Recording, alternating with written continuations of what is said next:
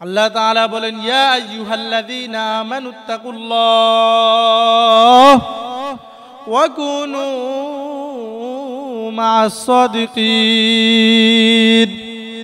হে দুনিয়ার মুসলমান, ইত্তাকুল্লাহ, আল্লাহকে ভয় করো, ওয়া কুনু মা'আস সৎ মানুষের বন্ধু হয়ে যাও। ইমাম মালিক রহমাতুল্লাহ আলাই একবার একবার তিনি তার ছাত্রদেরকে দরজ দিলেন। ছাত্রদেরকে দরজ দেওয়ার পর ছাত্ররা বিভিন্ন বিষয় আলাপ করতে লাগলেন। একবার এক ছাত্র তাকে প্রশ্ন করলেন, ও ইমাম মালিক, আপনি আমাদেরকে বলুন যে কেয়ামত কবে সংগঠিত হবে? রসুল্লাহ ওয়াসাল্লামের এমন কোন হাদিস আছে কিনা? যেই হাদিস দ্বারা আমরা জানতে পারব কেয়ামত কবে সংগঠিত হবে হজরত ইমাম মালিক রহমাতুল্লাহ আলাই তার ছাত্রদেরকে বললেন আচ্ছা ঠিক আছে, আমি তোমাদেরকে বলব। তবে আমি রসুল্লাহ সাল্লাহ আলাই ওয়াসাল্লামকে প্রায় স্বপ্নের মধ্যে দেখি। রসুল্লাহ সাল্লাহ আলাই ওয়াসাল্লামকে আমি স্বপ্নতে দেখার পর যদি কোনো কিছু পাই, আমি তোমাদেরকে জানাব। হজরত ইমাম মালিক রহমাতুল্লাহ আলাই ওই দিন রাত্রে ঘুমালেন ঘুমালেন। ঘুমানোর পর আল্লাহ রসুল সাল্লাহ আলাইহি ওয়াসাল্লাম তাকে স্বপ্নের মধ্যে পাঁচটা আঙ্গুল দেখাইলেন। পাঁচটা আঙ্গুল দেখানোর পর ইমাম মালিক রহমাতুল্লাহ আলাই কিছু বুঝতে পারলেন না। অতপর যখন পরের দিন ঘুমাইলেন, তখনও তাকে পাঁচটা আঙ্গুল দেখাইলেন। পাঁচটা আঙ্গুল দেখার পর তারপরও তিনি কিছু বুঝতে পারলেন না। অতপর তৃতীয় দিন যখন তিনি ঘুমাইলেন, তখন আবারও পাঁচটা আঙ্গুল দেখাইলেন।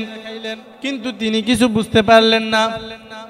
তারপর একবার তিনি হাদিসের দর্শের মধ্যে তাকরির দিচ্ছেন তখন কোরআনের এই আয়াতটুকু সামনে আসলো ইন্নাল্লাহা ইনদাহু ইলমুস সাআহ ওয়া ইউনাজ্জিলুল গায়স ওয়া ইয়ালামু মা ফিল আরহাম وما تكسب كل نفس ماذا غدا وما تكسب كل نفس بأي أرض تموت إن الله عنده علم الساعة وينزل الغيث ويعلم ما في الأرحام وما تكسب كل نفس بأي أرض تموت পাঁচটি বিষয়ের জ্ঞান আমার মধ্যে নাই আমার মধ্যে নাই আমি জানি না আল্লাহ রসুল সাল্লাল্লাহু আলাইহি ওয়াসাল্লাম হজরত ইমাম মালিক রহমাতুল্লাহ আলাইকে ইমাম মালিক রহমাতুল্লাহ আলাইকে পাঁচটা আঙ্গুল দেখায় এটা বললেন ইন্নাল্লাহ ইনদাহু ইলমুস সাআহ কিয়ামত কবে সংগঠিত হবে তার জ্ঞান আমার নাই ওয়া ইউনাজ্জিলুল গায়স বৃষ্টি কখন হবে সেই জ্ঞান আমার কাছে নাই ওয়া ইয়ালামু মা ফিল আরহাম মাতৃগর্ভের মধ্যে কি হবে সেই জ্ঞান আমার মধ্যে নাই وما تكسب ماذا وما تكسب غدا وما تكسب ماذا تكسب غدا وما تكسب نفس بأي أرض تموت মানুষ কোথায় মৃত্যুবরণ করবে, সেই জ্ঞান আমার মধ্যে যে নাই। আরেকটা জিনিস নাই হলো মানুষ আগামীকাল কি খাবে? হজরত ইমাম মালিক রহমাতুল্লাহ আলাই তার ছাত্রদেরকে বললেন, পাঁচটি জিনিসের জ্ঞান দুনিয়ার কেউ জানে না, এক আল্লাহ সারা এই জন্য আল্লাহ তাআলা কোরআনের বিভিন্ন স্থানে বলেন, ইয়াসআলুকান নাসু আনিস সাআহ। হে নবী সাহাবাই কেরাম আপনার কি প্রশ্ন করবে? ইয়াসআলুকান নাসু আনিস সাআহ কিয়ামত কবে সংগঠিত হবে? আপনি বলে দিন, কুল হে নবী, আপনি বলে দিন। ইয়াসআলুকান নাসু আনিস সাআ ইন্নামা ইলমুহা ইনদাল্লাহ। নিশ্চয়ই এই জ্ঞান আল্লাহ তাআলার কাছে, এই জ্ঞান দুনিয়ার কেউ জানে না, গায়েবের খবর একমাত্র আল্লাহ তাআলাই জানেন। মক্কার মধ্যে সয়লাভ হয়ে গেল আল্লাহ রসুল সাল্লাল্লাহু আলাইহি ওয়াসাল্লাম মক্কার মধ্যে। যখন শুরুতে ইসলামের দাওয়াত দিতে শুরু করলেন, সাহাবাই কেরাম তো জাহিলি যুগে এমন ছিল যে সামান্য থেকে সামান্য বিষয় হলে তারা খুনাখুনি, রক্তারক্তি লেগে যেতেন। আল্লাহ তাআলা যখন রসুল্লাহ সাল্লাল্লাহু আলাইহি ওয়াসাল্লামকে দিন দিয়া দুনিয়াতে পাঠাইলেন রসুল্লাহ সাল্লাল্লাহু আলাইহি ওয়াসাল্লাম দিনের প্রচার প্রসার শুরু করলেন। আল্লাহ রসুল সাল্লাল্লাহু আলাইহি ওয়াসাল্লাম যখন কাফেরদের কাছে দিনের প্রচার প্রসার নিয়ে যান অল্প মাত্র কিছু কাফের দুনিয়াতে আল্লাহ রসুলের আনিত দিন তারা গ্রহণ গ্রহণ করল কিন্তু সবাই গ্রহণ করল না। মদিনার মধ্যে তখন একটা সয়লাভ হয়ে গেল, তারা বেশি বেশি মদ পান করত। আল্লাহ রসুল সাল্লাল্লাহু আলাইহি ওয়াসাল্লাম এই বিষয়টা নিয়ে খুব টেনশনে পড়ে গেলেন। মদিনার লোকদেরকে আল্লাহ রসুল সাল্লাহ আলাইসাল্লাম ইসলামের দাওয়াত দেওয়ার পরেও তারা ইসলাম গ্রহণ করার পরেও তারা মদ পান করতেন। তো আল্লাহ রসুল সাল্লাহ আলাইসাল্লাম এই বিষয়টা নিয়ে খুব চিন্তিত হয়ে গেলেন যে আল্লাহ তারা কেন আয়াত নাজিল করেন না? রসুল্লাহ সাল্লাহ আলাইসাল্লাম একবার মাগরিবের সময় মসজিদের নববীর মধ্যে বসা মসজিদে নববীর মধ্যে বসার পর কিছু সাহাবাই কেরাম রসুল্লাহ সাল্লাহ আলাইসাল্লামের কাছে আসলো। ও রসুল, আপনি আমাদেরকে বলেন, আমরা যে এই মদ পান করি, এই মদ পান করাটা কি? আল্লাহ রসুল সাল্লাহ আলাইসাল্লাম সাহাবাই কেরামের কোনো প্রশ্নের জবাব সাথে সাথে দিতেন না। হজরত জিব্রাইল আলাইহি সালামের ওহির অপেক্ষা করতেন। আল্লাহর রসুল ওয়াসাল্লামকে যখন সাহাবাই কেরাম এই মত সম্পর্কে জিজ্ঞাসা করলেন, তখন রসুল্লাহ সাল্লাল্লাহু আলাইহি ওয়াসাল্লাম সাহাবাই কেরামকে বললেন যে, তোমরা পরে একদিন আইসো আমি তোমাদেরকে এই সম্পর্কে বলব।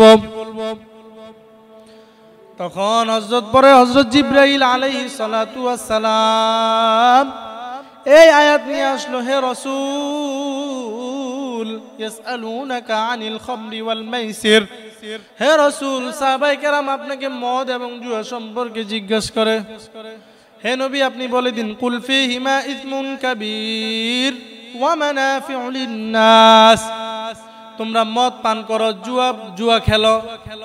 কুলফি হিমা ইসমুন কাবীর, এটা বড় একটা গুনাহ। ওয়া মানাফিউ লিন্নাস, কিন্তু মানুষের জন্য সামান্য উপকারও রয়েছে।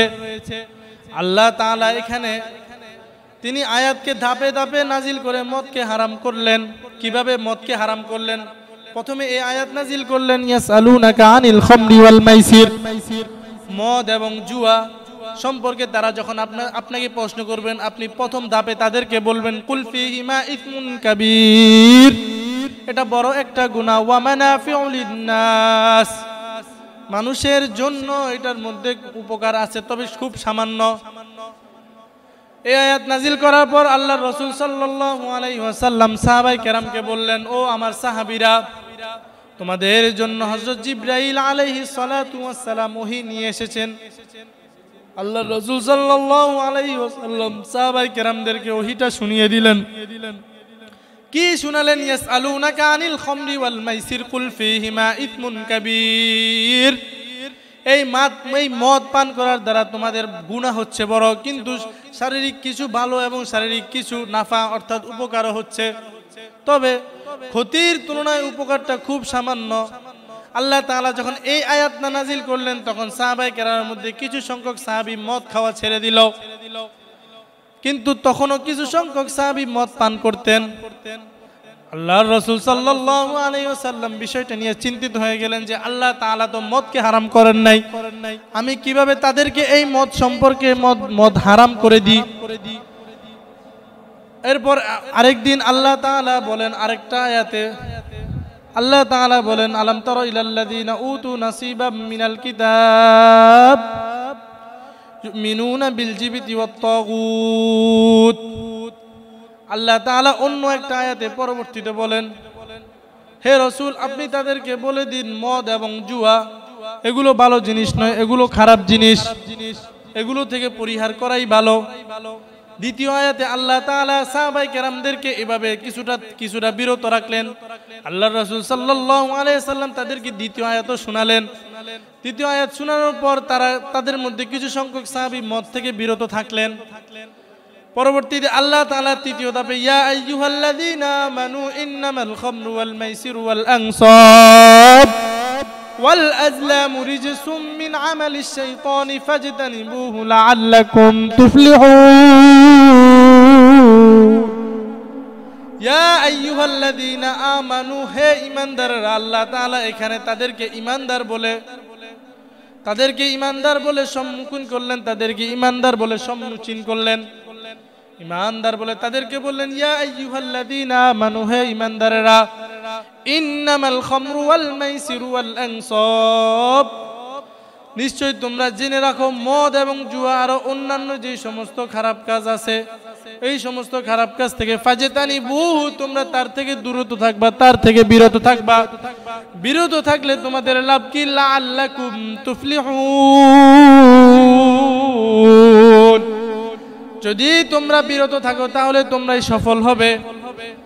এই আয়াত নাজিল করার পর হযরত আল্লাহ রসুল সাল্লাল্লাহু আলাইহি ওয়াসাল্লাম সাহাবায়ে কেরামদেরকে আয়াতটা শুনিয়ে দিলেন। সাহাবাই কেরামকে এই আয়াতটা শুনিয়ে দেওয়ার পর সাহাবাই কেরাম মদিনার মধ্যে, সেদিন সন্ধ্যাবেলা মদিনার মধ্যে যত মদের বার ছিল, যত মদ ছিল, সবগুলো মদ হজরত ওমর রাদি আল্লাহ এবং প্রসিদ্ধ আরও বড় বড় সাহাবাই কেরাম ওই মদগুলো ফেলে দিলেন, ওই মদগুলো ফেলে ওদিন মদিনার রাস্তায় রাস্তায় মদের সমুদ্র হয়ে গেল দুনিয়া, মদিনার মধ্যে মদ আর মদ। তখন আল্লাহ তাআলা এই আয়াত নাজিল করার পর সাহাবাই কেরামদেরকে বলে দিলেন যে, তোমরা আর মদ পান করবে না। এই মদ পান করার কথা শুধুমাত্র সাহাবাই কেরামদেরকে বলে না, এই মদ পান করার দ্বারা উক্ত আয়াত নাজিল করার দ্বারা আল্লাহ তাআলা দুনিয়ার সমস্ত মুমিন মুসলমানদেরকে এই কথা বুঝাইতে চাইতেছেন যে তোমরা মদ পান করবে না, জুয়া খেলবে না।